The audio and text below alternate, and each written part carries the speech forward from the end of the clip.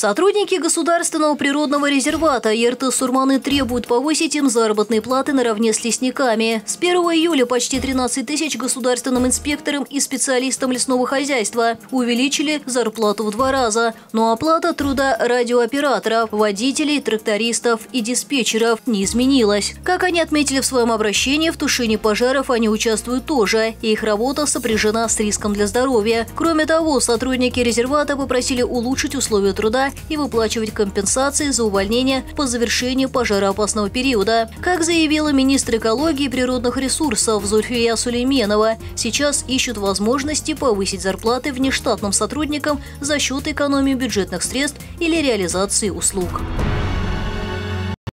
Забирать новорожденных животных у нерадивых хозяйственников и передавать их тем сельхозпредприятиям, где налажена технология содержания. Такое поручение дал президент Беларуси Александр Лукашенко во время посещения одного из районов Гродненской области. Президент ознакомился с работой ведущего хозяйства региона. Здесь содержит более 5000 голов крупного рогатого скота, производят мраморную говядину. На ферме глава государства напомнил о своем поручении в течение пяти лет перевести всех животных в современные молочные молочно-товарные комплексы. Акцент сделан на хороших условиях содержания и откорма, а гибель скота недопустима, подчеркнул белорусский лидер. Александр Лукашенко поставил задачу и по уборочной кампании – выходить на темпы в 6% площадей в день.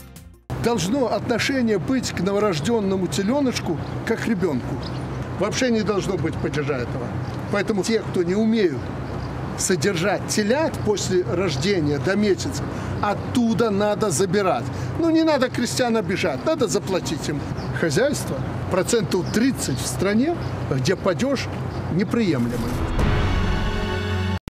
Национальный банк Кыргызстана сохранил учетную ставку на уровне 13% в главном финансовом регуляторе. Объясняет свой шаг тем, что ситуация на валютном рынке страны относительно стабильная, но вместе с этим есть определенные риски резких колебаний стоимости американской валюты. Почти полмиллиарда долларов потратил Национальный банк Кыргызстана на сглаживание обменного курса доллара в стране. На рост стоимости доллара влияет в том числе и сокращение потока американской валюты из России. В предыдущие годы трудовые мигранты ежегодно присылали на родину до трети ВВП страны. Это 2,5 миллиарда долларов. В последнее время этот поток постепенно сокращается, и по данным Нацбанка за половину 2023 года в Кыргызстан переведено всего 704 миллиона долларов, что на 28,5% меньше, чем за аналогичный период прошлого года. Вместе с этим резко увеличился отток американской валюты за рубеж, что, безусловно, сказывается на текущей финансовой ситуации. В Национальном банке заявляют, перспективы развития экономики экономики Кыргызстана, как и прежде, продолжают оставаться под влиянием внешних условий, которые остаются изменчивыми главным образом в регионе. Инфляция остается на повышенных значениях наряду с неопределенностью на мировых финансовых рынках.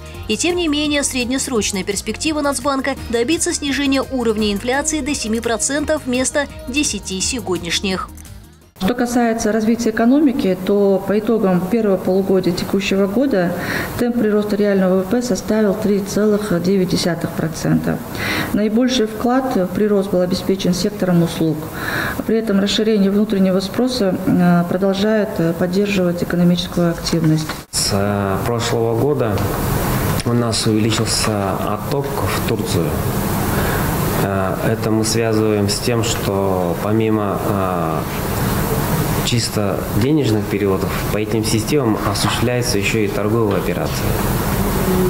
И в связи с изменением логистических цепочек поставок товаров с ситуацией с Украиной, часть товаров теперь к нам идет с Турции. Время как Украина пытается экспортировать свое зерно альтернативными маршрутами, в частности через румынский порт Констанца, Анкара настаивает на возобновлении зерновой сделки между Киевом и Москвой. В телефонном разговоре президент Турции призвал своего российского коллегу возобновить соглашение об экспорте украинского зерна. Также лидеры двух стран договорились о визите Путина в Турцию. Заявление не осталось незамеченным в Организации Объединенных Наций. Протесты профсоюзов охватили Нигерию. Демонстранты выступают против повышения цен на топливо. Они также требуют увеличить размер минимальной заработной платы. Уровень инфляции в стране сейчас самый высокий за последние 20 лет. Несколько сотен протестующих прошли маршем по улице столицы Абуджи. Демонстрации проходят и в других городах на севере страны. Профсоюзы заявили, забастовки продлятся неделю.